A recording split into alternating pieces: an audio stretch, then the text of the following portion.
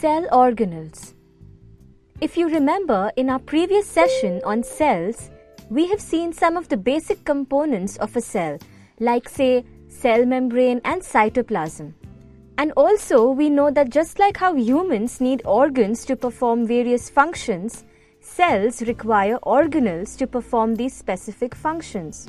So, we can say that cell organelles are similar to organs in a human system. In our last session, we have also discussed that plants and animals are different based on their structure and functions. So, to perform these functions, their cell organelles will also be different. Some of the cell organelles may be present in a plant cell but absent in an animal cell, or say vice versa but majorly they have similar cell organelles which function together to keep the cell alive. And now, in this session, we will study the organelles within the cell in detail, and simultaneously, we would also learn the difference in an animal cell and a plant cell with respect to their contents. So, moving on, what is a cell organelle? As you can see here, cell organelles are individual parts within a cell that work together to keep the cell alive and in a broader picture, keeping the organism alive. Scientifically, a cell organelle is defined as a specialized subunit within a cell with a definite shape, structure, and which has its individual membrane or covering. Now we will be looking at the organelles one by one in detail. So, to start with, do you see this round shaped structure present in the center of the cell? Since it is present in the center, this organelle is called as the nucleus, which means core of the cell. So, we all know a human brain controls the functioning in the body. In a similar way, the nucleus controls the functioning in the cell. So, it won't be wrong to regard the nucleus as the brain of the cell so, how and what exactly does it control? It controls or determines our physical appearance because of some material which is present within the nucleus. This material can be called as DNA. We have heard a lot about DNA. It stands for deoxyribonucleic acid. Our DNA is passed on to us by our parents, and this is the reason why we all look similar to our parents but we won't say it is 100% identical to them, as there is some amount of DNA which is different.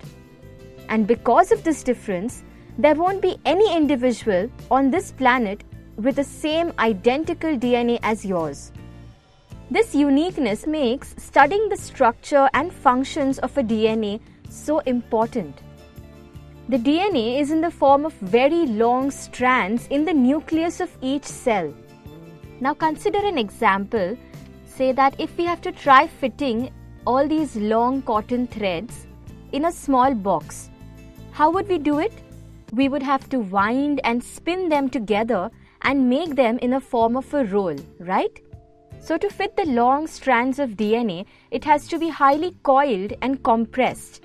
And after all the coiling, it forms a rod shaped structure which we call as a chromosome. All these contents are fit into a nucleus by a double covering or membrane around the nucleus. Since it is present around the nucleus, it is called as a nuclear membrane. It can be inner nuclear membrane and outer nuclear membrane.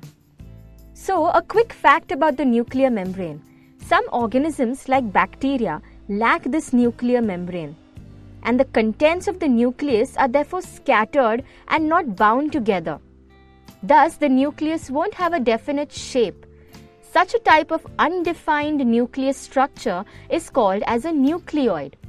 So, here we are done talking about the nucleus.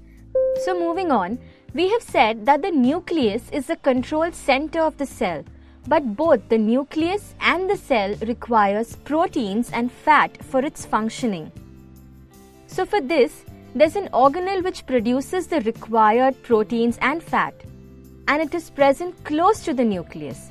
It is so close that it emerges from the outer membrane of the nucleus and extends to form a large network of sheets and tubes which is present within the plasma or the fluid of the cell.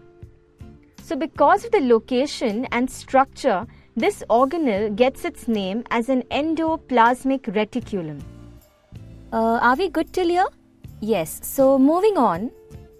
If you observe this large network under a microscope, you will see that some part of it has particles or grains attached to it. But what do these particles actually do? So, just as how we get our proteins from the food we eat, cells get their proteins because of these particles which are called as ribosomes. And because of this, it appears rough.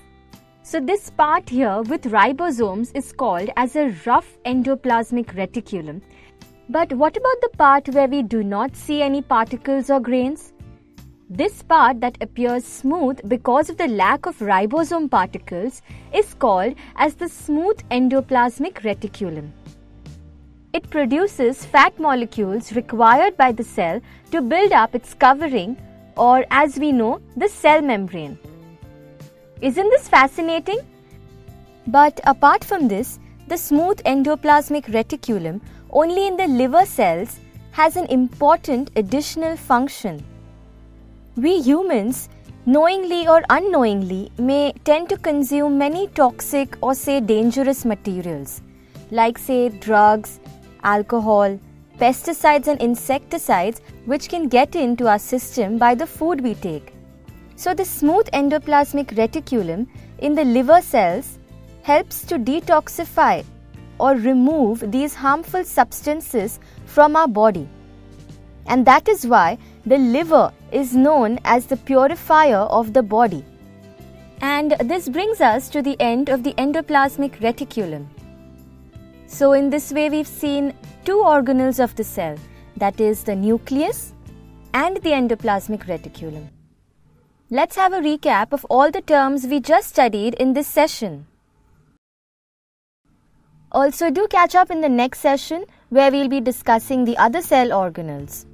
But till then, try the small exercise. Let's match column A and column B. I hope you've got them right. Until the next session, follow your curiosity. If you want to know more about biology, do subscribe to Let's Tute. And if any doubt comes up in your mind, you can ask me in the comments below. Also, you can share this video for your friends who find biology really difficult. So, till the next time, thank you.